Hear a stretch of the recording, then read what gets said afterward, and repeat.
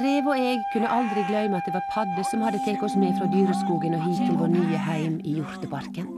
Han kjem opp. her. Vi skulle gjort mye for å redde vår modige helt fra den mest skremmende opplevelsen i livet hans. Herlig dag, broddgutten min. Drep han. Heldigvis, han overlevde. Ugle var fremdeles innestengt i sementen. Og sementen var like heil trass i alle forsøk på å sette henne fri.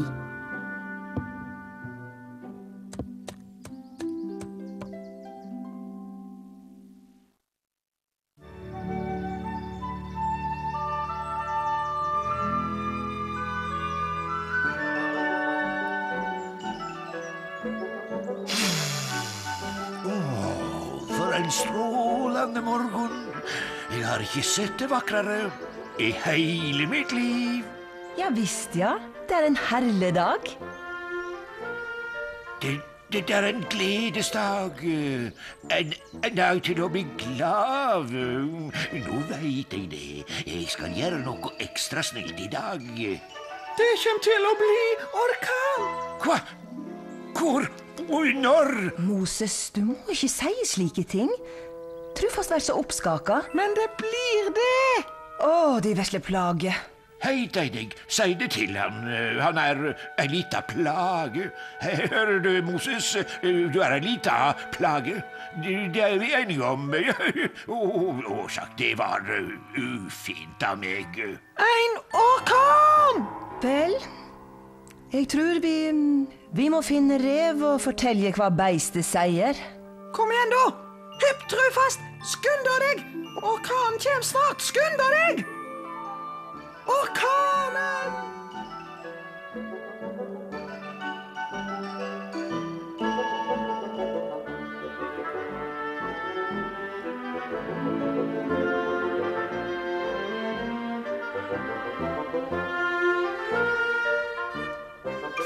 Rev! Rev! Ho-ho! Rev! Rev! Rev.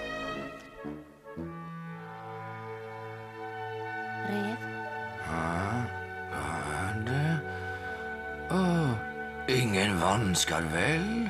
Ikke på en dag som denne. Årsak oss, men Moses har noe å fortelle deg. Det kommer til å bli orkan! Du gjør en mygg til en elefant igjen, Moses. Det kommer til å bli orkan! Helt sant! Dumme vesle plageånd.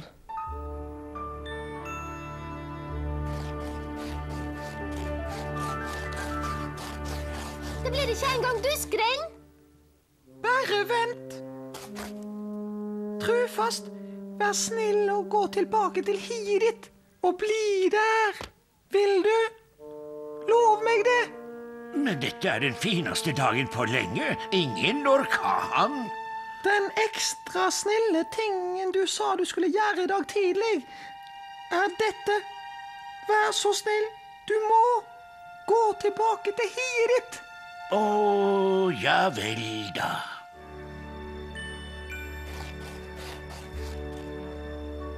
Trufast! Du veit hvor du finner meg.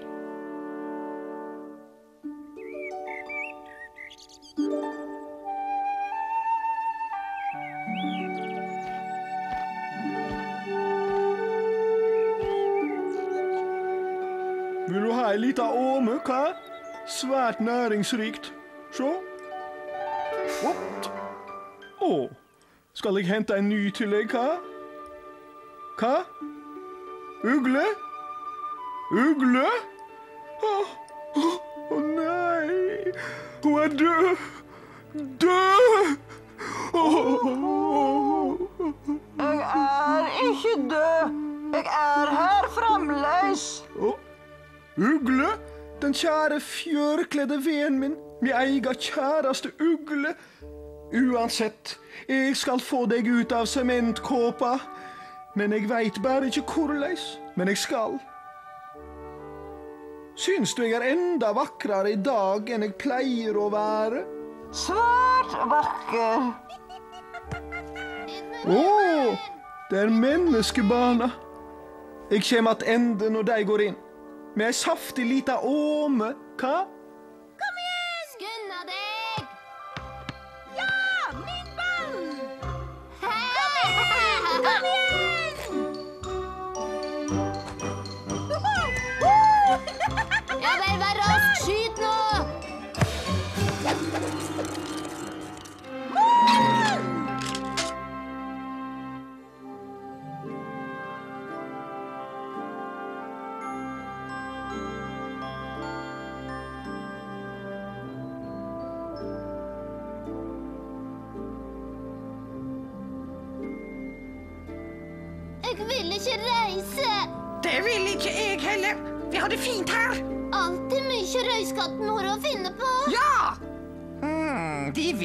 Ikke at det fæle villsvinet skal stikke de store støytennene sine i fardukker. Hjelp!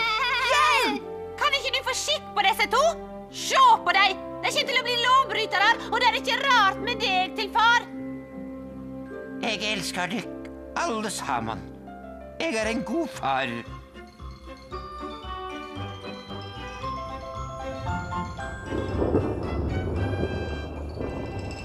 Det var du, duvær.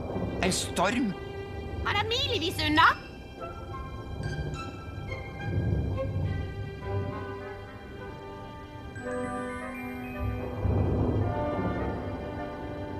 Hva ser du?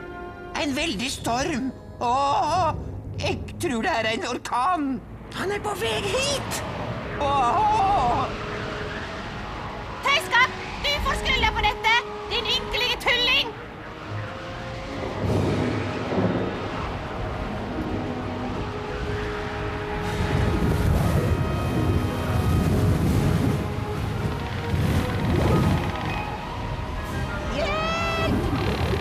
mener du med hjelp?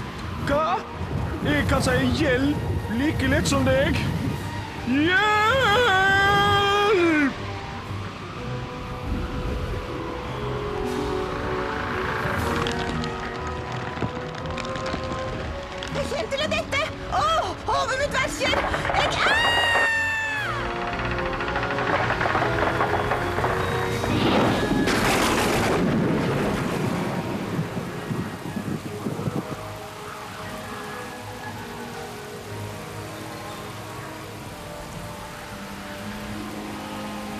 Ugle! Ugle! Se! Du er fri! Litt uflitt, men fri! Husk at dette er din Hjelp!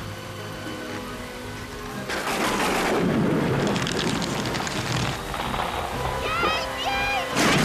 Tøyskatt, hjelp, hjelp! åh, det er over. Vi er trygge nå. Det er slutt på orkanen. Helt sikkert. Mollvarpen hadde rett, ikke sant, Rev? Jau takk, modig. Det ser ikke verre ut. Moses hadde rett. Det blei orkan. Jeg tok feil. Han hadde rett. Han hadde trygt og gått djupt ned i jorda, gomler makkar, der ingen tre fell. Jeg har aldri tenkt på at en mollvarp hadde så mange fordeler. Jeg er svært urolig for Trufast. Han er aleine i hiet vårt. De veit hvordan han er. Slik som det bles ute. Han er sikkert forferdelig urolig. Ikke vær redd, Skugge. Han er helt trygg, og orkanen varer ikke mye lenger. Nei, jeg må nok gå og se om han er i orden. Det er ikke så langt. Skugge?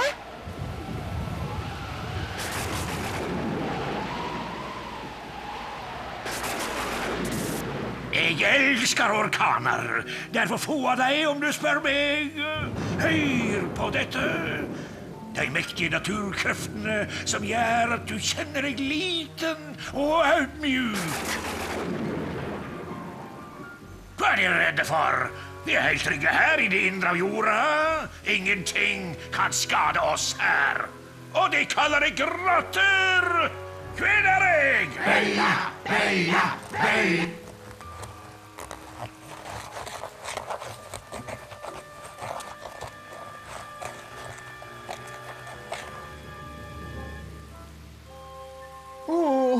jeg ber om årsak. Jeg eh, mente ikke å brake inn i håla. eh, Og han forvirra meg.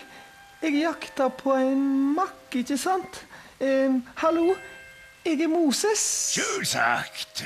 Vi er gamle venner. Mjuk, fløyelsmjuk, nesten ikke avskyelig i det hele tatt. En mollvarp er nesten ei rotte, ikke sant?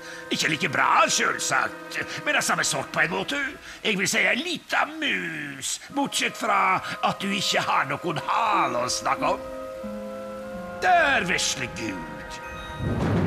Hvem er jeg? Du sitter her. Du er helt trygg for stormen som raser der oppe.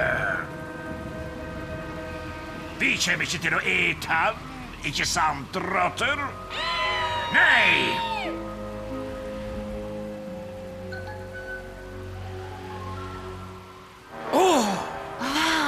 Der er du, kongen over rottene. Jeg visste at du var her nede, i ly for orkanen. Du drap maken min.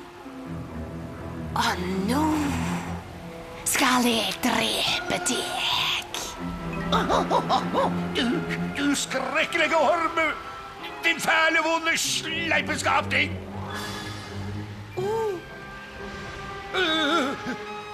Tau, Primul Fener, Trepu, Rotter, Kedare!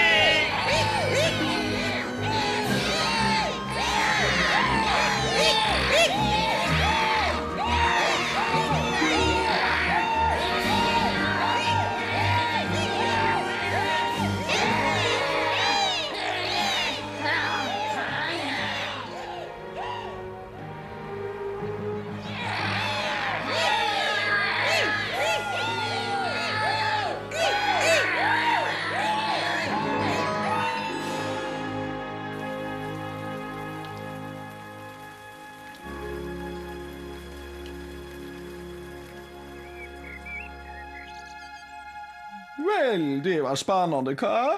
Jeg likte det. Jeg fikk slik forferdelig hodeverk. Å, det verker. Å, den kjære ugla mi, hun som svarer på alle mine ul. Hun har sluppet ut av sementblokka. For en lukkedag. Hva? Er jeg svært uflidd? Hva? Si jo sanninga. Kom igjen. Ja, nokså uflidd. Elsker du meg sjøl om jeg er uflidd? Jeg vil alltid elske deg. Hva? Jeg elsker deg ved første øyekast. Følger du meg heim til hjorteparken? Om du ønsker det, hva? Vi reiser nå med en gang heim. Vi kan leve der sammen, du og jeg. Jeg og maken min. Å, bare vent til jeg ser hvor vakker du er.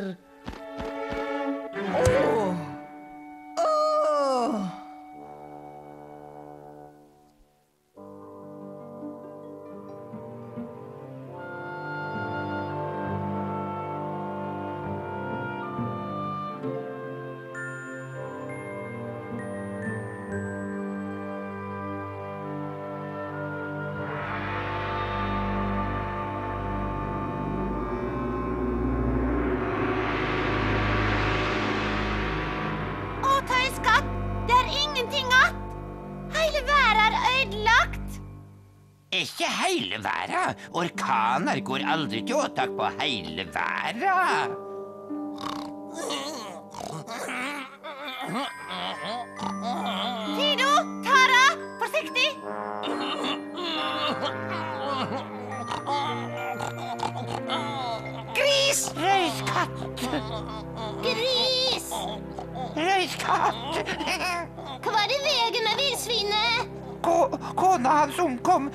Orkan.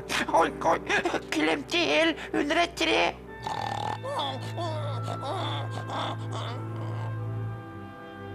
Men han har fremdeles meg. Jeg er i orden. Oink, jeg skal passe på han. Han er far min, og jeg er grisungen hans. Oink, jeg er ei veldig stor trøyst.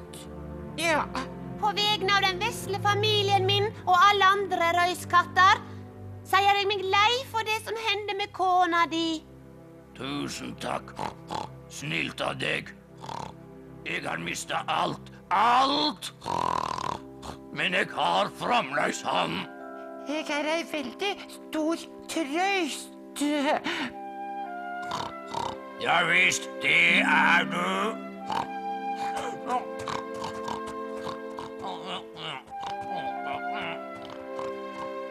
Vi skal nordover i landet. Noen av de voksne ungene hans bor der. Han tykker at jeg skal møte så mange griser som mulig. Gris. Røyskatt! Gris. Røyskatt! Ikke vær urolig for meg. Jeg skal aldri bli pølser. Honk, honk. Hva nå? Røyskatt, denne gangen vil jeg ikke ha noen protester. Ingen sure miner eller kjefting og smelling. Vi reiser tilbake til Hjorteparken. Vi reiser hjem til vennene våre, der vi er trygge. Greit? Ja, Tøyska. Du har rett. Vi reiser hjem. Vil du? Ja, tøyskatt.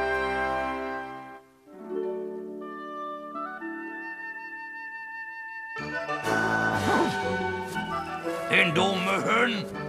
Du er den dummeste og mest ubrukelige hund jeg noen gang har sett eller hørt om.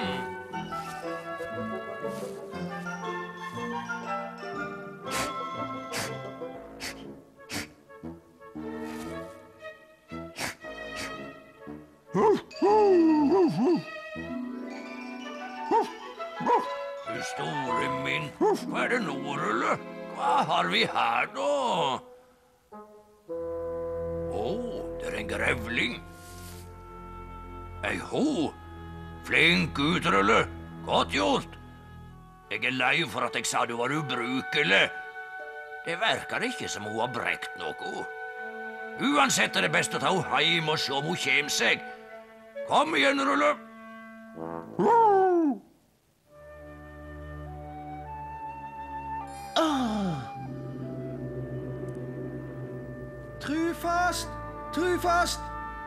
Du store, for ei kaos. Hva har hendt? Vel, du veit, orkanen. Orkanen?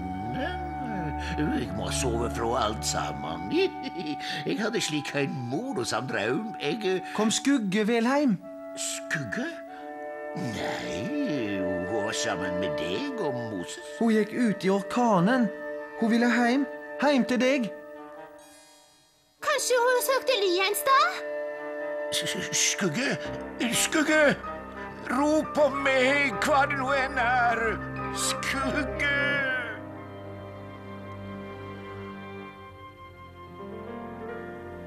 Blåmann, du var rask.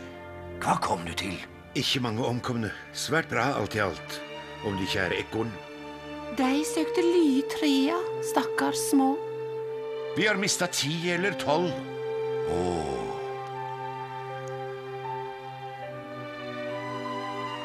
Modig gikk for å se etter grevlingene. Moses og Hoggorm må være en stad under jorda. Jeg vonar hun har drept et par rotter. Er Skugge her? Skugge, kjære snille Skugge. Hun er mye snillere enn jeg. Mye snillere. Skugge, Skugge. Har ikke sett henne.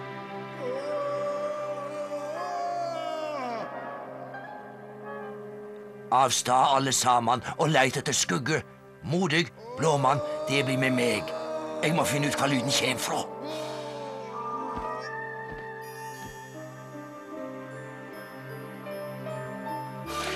Jeg har oversikt over alle froskene, foruten 14 Folkens,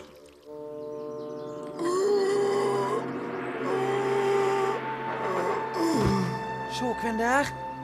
Vel, da var i det minste orkanen godt for noe. Gå vekk, de frekke røyskattrever. De får ikke lov å se på at jeg dør. Aldri! Han er skikkelig fastklemt. Jeg er lei for det. Du har vært stygg mot oss, men jeg unner deg likevel ikke dette. Gå vekk, alle sammen. Jeg vil dø aleine. Å, du vil aldri få vite hvem som ble leier av flokken etter deg. Jeg skal bli leier. Ikke tale om! Jeg skal!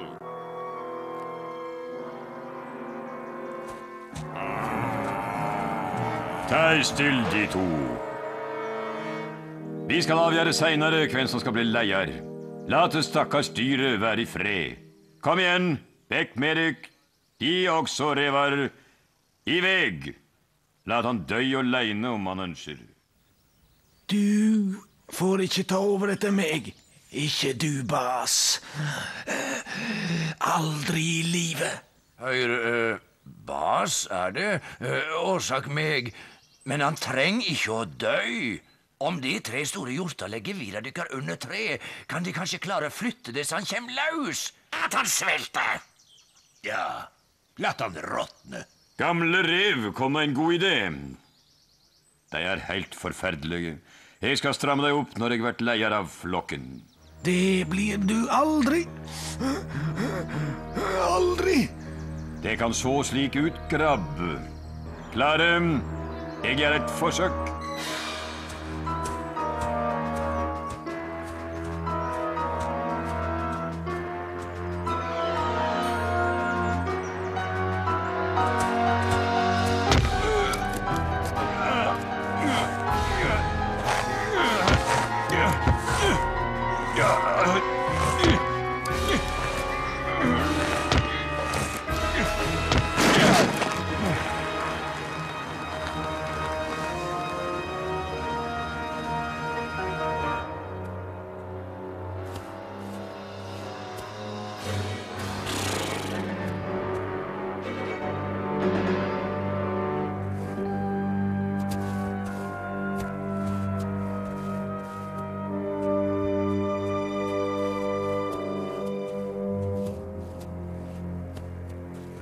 Bas. Det verker som du blir ny leier av flokken. Jeg må slåss mot de andre hjortene først. Så blir jeg leier. Hva vil skje med han nå? Er han heldig, fin vakteren han. Om ikke Vel, da er det nok slutten for det stakkars udyret. Du har ikke tilfeldig sett en grevling? Grevling? Jeg? Nei, dessverre.